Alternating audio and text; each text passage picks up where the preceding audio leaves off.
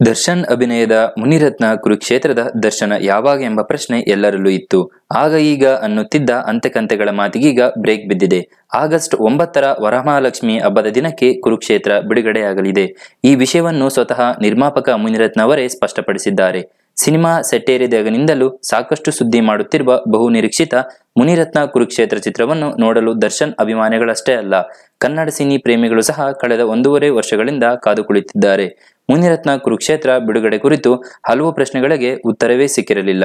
ಕೊನೆಗೂ ನಿರ್ಮಾಪಕ ಮುನಿರತ್ನ ಅವರು ತಮ್ಮ ಬಹು ನಿರೀಕ್ಷೆಯ ಚಿತ್ರವನ್ನು ಬಿಡುಗಡೆ ಮಾಡಲು ನಿರ್ಧರಿಸಿದ್ದು, ಆಗಸ್ಟ್ ಒಂಬತ್ತರಂದು ಯಾವುದೇ ಕಾರಣಕ್ಕೂ ಬಿಡುಗಡೆ ಮುಂದಕ್ಕೆ ಹೋಗುವುದಿಲ್ಲ ಎಂದು ಹೇಳಿದ್ದಾರೆ. ಮುನಿರತ್ನ ಕುರುಕ್ಷೇತ್ರ ಕನ್ನಡ ಚಿತ್ರರಂಗದಲ್ಲಿ ಅದ್ದೂರಿ ಬಜೆಟ್ ಹೊಂದಿರುವ ಚಿತ್ರ. ಇದರ ಮತ್ತೊಂದು ವಿಶೇಷವೆಂದರೆ ಚಿತ್ರ ಬಿಡುಗಡೆಗೂ ಮುನ್ನವೇ ಭರ್ಜರಿ ಮೊತ್ತಕ್ಕೆ ಚಿತ್ರದ ಹಕ್ಕು ಮಾರಾಟವಾಗಿದೆ. ಹಿಂದಿ ಭಾಷೆಯ ಡಬ್ಬಿಂಗ್ ಹಕ್ಕು ಒಂಬತ್ತೂವರೆ ಕೋಟಿ ರೂಪಾಯಿಗೆ ಮಾರಾಟವಾದರೆ ಖಾಸಗಿ ವಾಹಿನಿಯೊಂದು ಒಂಬತ್ತು ಕೋಟಿ ರೂಪಾಯಿ ಕೊಟ್ಟು ಹಕ್ಕು ಪಡೆದಿದೆ.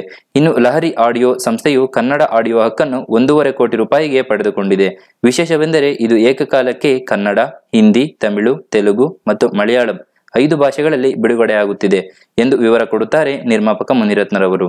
ರಾಜ್ಯ, ದೇಶ ಮಾತ್ರವಲ್ಲ ವಿದೇಶಗಳಲ್ಲೂ ಕೂಡ ಮುನಿರತ್ನ ಕುರುಕ್ಷೇತ್ರ ಚಿತ್ರ ಬಿಡುಗಡೆ ಮಾಡುವಂತೆ ಬೇಡಿಕೆ ಬರುತ್ತಿದೆ. ಈಗಾಗಲೇ ಹಲವು ದೇಶಗಳಿಂದಲೂ ಚಿತ್ರ ಬಿಡುಗಡೆ ಮಾಡುವಂತೆ ಮನವಿ ಬರುತ್ತಿದೆ. ಜುಲೈ ಮೊದಲ ವಾರ ಮುನಿರತ್ನ ಕುರುಕ್ಷೇತ್ರ ಚಿತ್ರದ ಆಡಿಯೋ ಬಿಡುಗಡೆಯಾಗಲಿದೆ.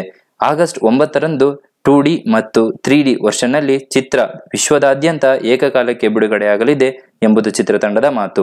ಎಲ್ಲ ಸರಿ, ಆಗಸ್ಟ್ ಒಂಬತ್ತರಂದು ಸುದೀಪ್ ಅಭಿನಯದ ಪೈಲ್ವಾನ್ ಚಿತ್ರವು ಬಿಡುಗಡೆಯಾಗಲಿದೆ ಎಂಬ ಮಾತುಗಳು ಕೇಳಿಬರುತ್ತಿವೆ.